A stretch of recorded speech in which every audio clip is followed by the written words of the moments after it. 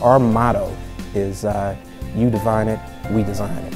And that, that's a, a, a true statement with us. We make uh, and specialize in statement pieces, uh, pieces for weddings, pieces for uh, that 40th, 50th, 60th uh, birthday party celebration, or just that, uh, that special weekend in Miami uh, or Vegas and you just want to be, you just want to be different and you want to stand out.